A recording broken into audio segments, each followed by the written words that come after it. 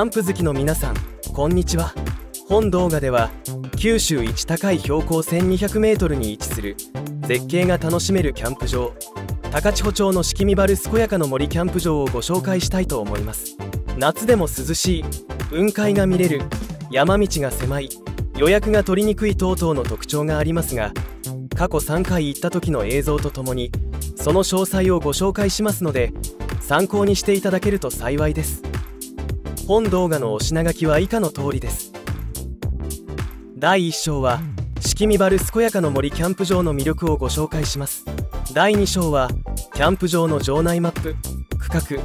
チェックインおよびチェックアウトその他のキャンプ場の概要をご紹介します。第3章は取りにくいと言われている予約の取り方についてご紹介します。第4章は買い物や現地までのアクセスについてご紹介します。最後に高千穂を訪れたらぜひ行ってほしい。高千穂峡や天照鉄道など周辺の観光情報をご紹介します。ぜひ最後までご覧ください。式見原健やかの森キャンプ場の魅力。式見原健やかの森キャンプ場は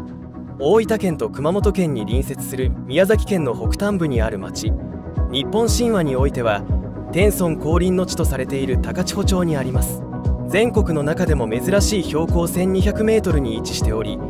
九州では珍しい唐松林で周囲を囲まれているキャンプ場です。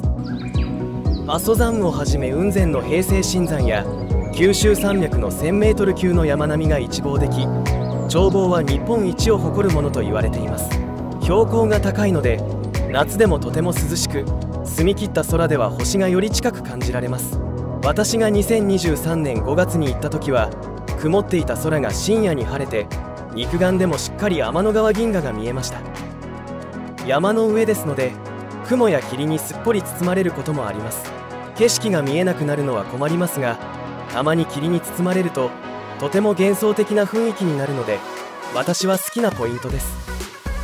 また運が良ければ雲海も見ることができます。高千穂町は毎年11月頃に雲海が見えることで知られていますが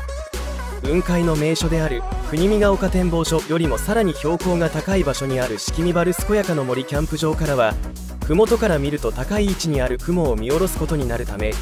シーズンでなくとも雲海またはそれに近い状態をかなり高い確率で見ることができます。標高が高く涼しくて虫も少なく快適に過ごせることが一番の魅力ですがキャンプ場の施設としても優れています。オートキャンプ場の一部は区画専用の温水シャワー炊事場電源が備わっておりファミリーキャンプでも快適に過ごせます。キャンプ場の概要。まずは式見原健やかの森キャンプ場の全体図を見ながらご紹介します。山道を登りきると開けた場所に出ます。ここはパラグライダーのテイクオフ場になっているようです。進んでいくとふるさと自然公園センターの建物がありますのでさらに先に進み看板が見えたら右折します。坂道を登っていくとそこに管理棟があります。管理棟で手続きを済ませてサイトに行くのですが薪や炭などの購入バーベキューコンロや毛布などのレンタルもこの管理棟で行います。キャンプ場内はテントサイトエリアオートサイトエリアバンガローエリアそして遊具があるエリアがあります。テントサイトは10区画あり棚田のような形状をしています。1区画がかなり広々していて快適ですが駐車場から区画まで上がる道がかなり狭く車では荷物を搬入できませんのでちょっと大変です。1から4の上段のエリアは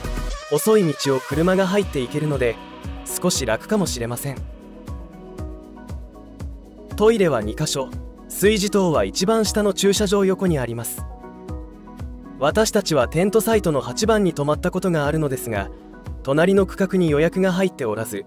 管理人さんが広く使っていいですよと親切に言ってくれたので大型のシェルターとタープを大きく張ったことがあります。マップとは反対の上段の方から撮影した空撮映像がありますのでそちらもご紹介します。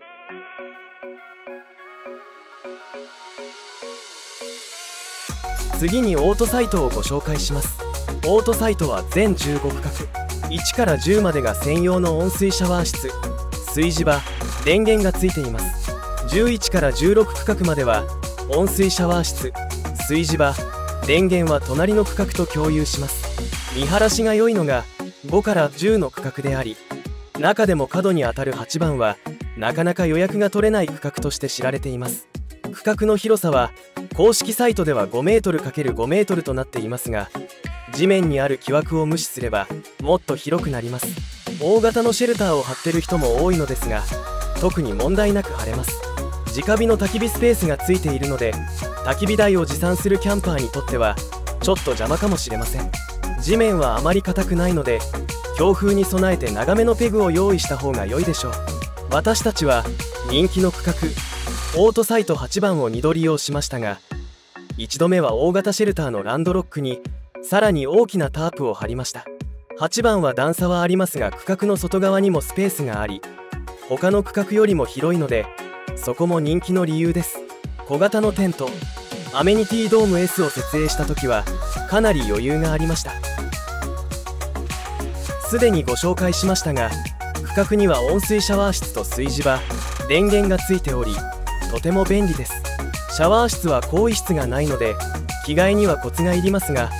しっかり清掃されていて清潔感があるので安心して使えます。炊事場には照明もついています。オートサイトエリアにトイレ等は1棟しかないため予約状況によっては混雑するかもしれません。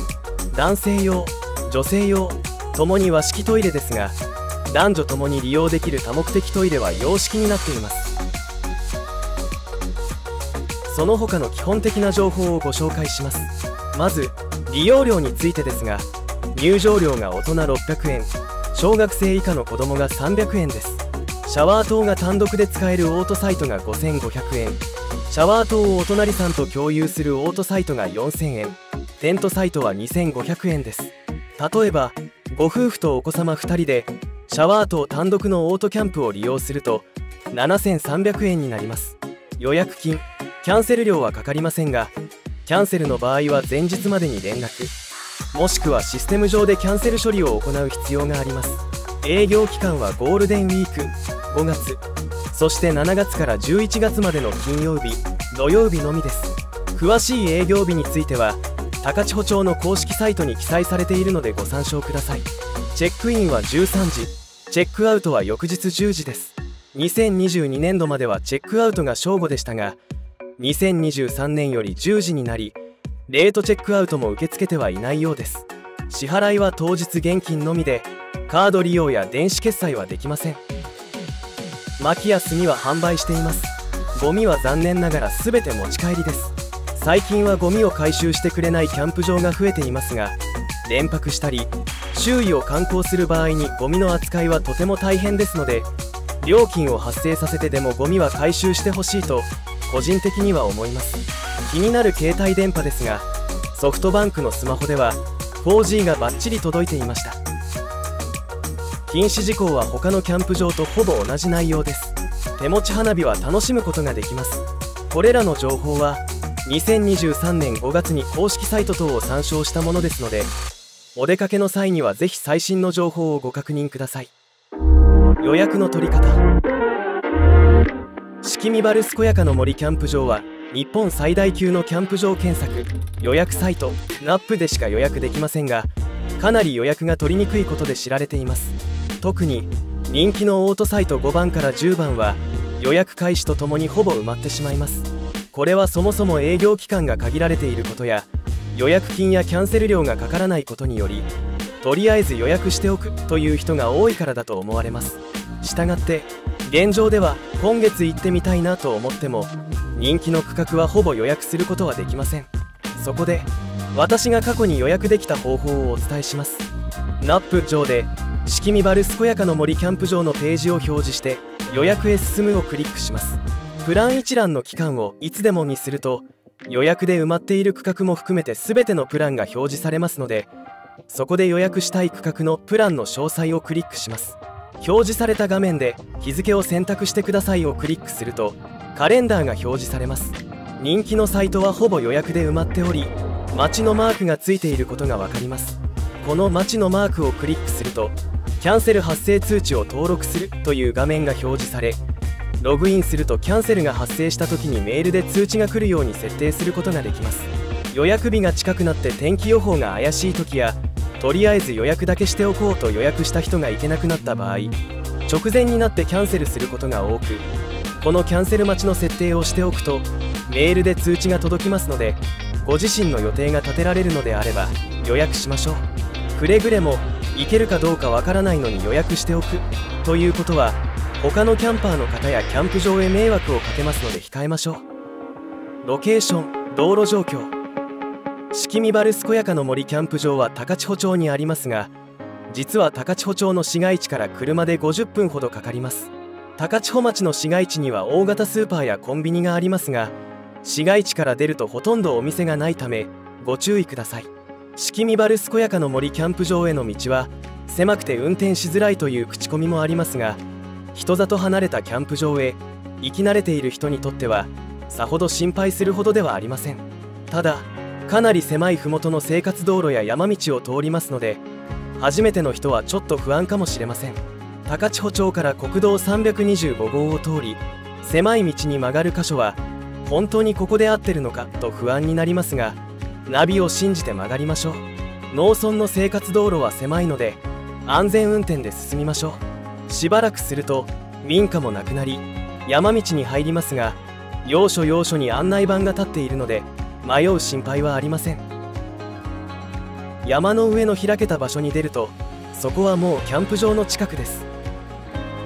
気をつけてお出かけください。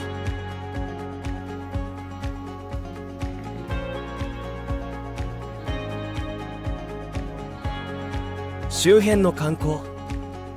日本神話において天孫降臨の地とされている高千穂町にはたくさんの見どころがあります。ぜひキャンプ場での宿泊前後に観光の計画も入れておきましょう。まず高千穂で外せないのが高千穂峡です。迫力ある柱状節理。美しいマナイの滝。流しそうめんや菓子ボードなど高千穂観光を満喫できます。ただし週末は観光客が多く遠くの駐車場に停めて歩かなければならなかったり意外に時間を使ってしまうのでご注意ください。高千穂は神楽も有名です。本場の高千穂の夜神楽は11月中旬から2月上旬にかけて高千穂のあちこちで奉納されるものですが高千穂神社では毎晩20時に観光客向けに高千穂神楽が公演されています。高千穂天照鉄道もおすすめです。地元の人に愛されてきた高千穂鉄道は2005年の台風で甚大な被害を受け存続の声も虚しく廃線を余儀なくされました。その後地元の人々の熱意と努力によって観光用のトロッコ鉄道として復活。いろいろと工夫を凝らした素朴なエンターテインメントできっと良い思い出ができます。移動の際にぜひ見てほしいのは高千穂の美しい棚田です。特に土地又棚田は棚田百選に選ばれており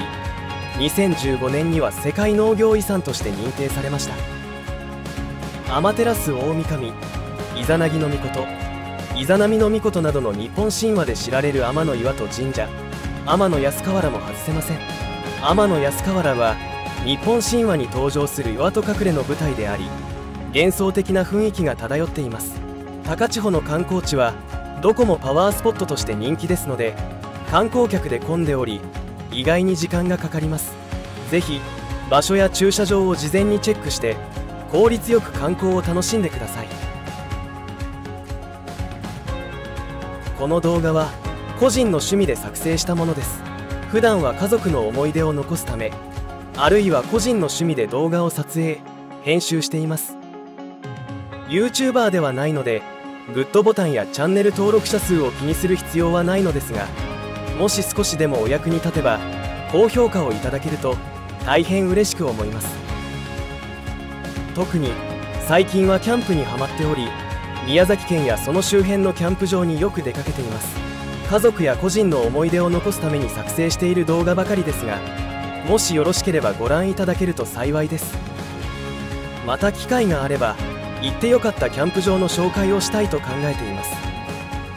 最後までご覧いただきありがとうございました。Thank